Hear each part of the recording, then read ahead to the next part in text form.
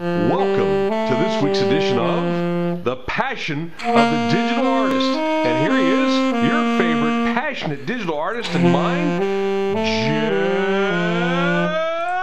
Mueller. Hello, Xavier. Hey, Jeff. How are you? I'm great. How are you doing? Another week has passed. Another week already. It, the the magnitude of what's happening is starting to sink in, and I've kind of settled down. And I, I found that it's really strange. You, you you keep doing this, and you keep you keep going forward, moving, playing out all your options, like we always talk about. And then all of a sudden, it seems like out of nowhere, everything hits at once. And to have three shows, July 19th, July 20th, and July 25th, in Cleveland, Canton, and New York City, Long Island, it's just it it kind of set in on me. And I've I've gotten organized and I'm really getting all the stuff done. First of all, preparation for a show is there's a lot of preparation an artist has to do. And from the start to finish, this process of when you go out and get a painting. So my process is, I decide I want to. I, I decide I want to paint a, paint a picture, and I decide where I want to paint it from, and then I take my my camera out, and I find the picture, have it present itself to me, find that painting. So in my head, I'm finding the painting.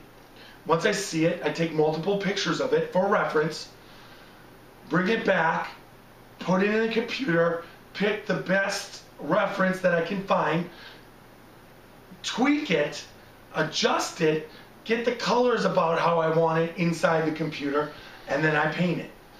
Using the photo as reference and a guide for color and composition, I paint it inside the computer. I then, using my skills, again, as far as working in the digital field and having everything that I ever worked on in the commercial art field from the computer printed, I understand the colors, the color uh, profiles that are out there. I understand what colors don't print well, what colors do print well. And it, when it came to canvas, at first I had my basic knowledge, but after 25 canvases now, I pretty have a have a really good idea what colors and their strengths. And when I'm painting the picture, I paint towards those strengths. And if it's if they're not there, I kind of leave it open so that I can add it in through the painting once I once the picture is painted. Once I have the picture, it's put it's printed out onto the canvas.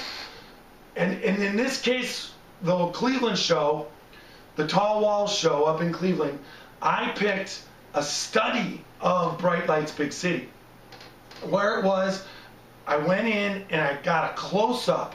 I zoomed in on the on the on the actual picture and then I repainted it in the computer, printed it back out to the colors that I wanted. And then once it's out, this particular painting is about now I'd say 60 to 70% covered in acrylic paint. So this is my first push where there's probably more acrylic than digital paint on it. And the results worked out great. I was really happy. It took me a while. I was so in the zone on this that I forgot to wear my hat. I was painting outside. Ended up burning my, the top of my head. So once that's finished, today itself, I spent, I signed it, I lacquered it. Then once I lacquered, lacquered it, I decided to rename it Big City Big Lights.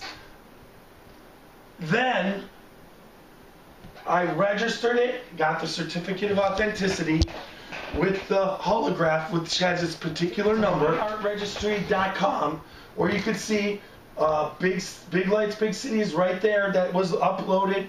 The number was assigned, so I've got the certificate. Then what happens from the certificate is this holograph goes on the back, the the, the twin holograph that's on the certificate is on the back of the painting. So I've registered this at my art registry. The person who buys it gets the certificate of authenticity, and it's on the back of the painting. So in a hundred years, if someone's wondering who Jeff Mueller is and what other art works he's done, they can look at the number here, type it in, going to myartregistry.com, and all of my paintings that have these numbers and that are associated with it, they'll be able to see my artwork. So it really kind of legitimizes what I'm doing by registering it and documenting it. So the process of what I do isn't just the painting. It's using all the skills that I've come up with. So that brings me to the next thing. T-shirts. Yay! Check it out. Uh, at my gallery, Vanessa Booth designs T-shirts and sells them. I asked her to design one for Computer Art Man. This is what she came up with.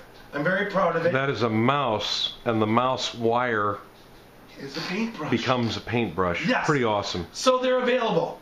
Any color, any size. One is $15 plus shipping and two for 25. So if anybody's interested in getting a computer art man, just contact me either on Facebook or on YouTube, leave a message, get leave your information and we'll I'll work it out so that you can get one of these great t-shirts.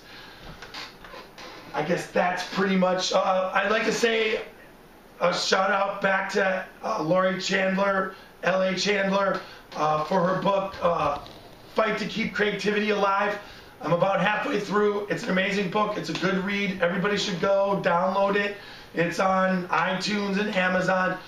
Great book. I'll still keep up the link that I had from last week. But everybody, definitely a good read for artists and un and people who aren't artists as well. Because it just is it's, it's a challenge and an inspiration to you know it's almost like it's not a life-changing thing but it's something that you can add to your life that will definitely make a difference. And it's well worth worth worth reading. Everybody's got to read it. So that's it for this week.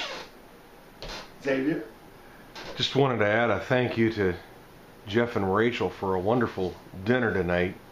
Ribs and all the trimmings and it was just another really nice time. We got together last week here on the 4th at my house and then once again here and it's been a great way to celebrate summer. a food fast It has been a food fest. good thing it's summertime because i'm just maintaining this weight Yeah, I know. I was running the monument steps again yesterday. It's like I, you know, get myself uh, exercise down and then I put it back. It's a vicious circle. yes exactly but All right, we'll see you next week, folks. No, we won't. No, we won't. You're going to be on vacation, Xavier. In Viva Las Vegas. Wonderful Las Vegas. Hopefully, you'll come back a rich man. There you go. Well, let's say if I become a rich man, I just won't be back. If I come back, you'll know that I had my usual luck. But Well, yeah, I suppose. You're be back. we'll we'll see you. See We'll you. see you in a couple weeks, folks. Yep. Bye bye.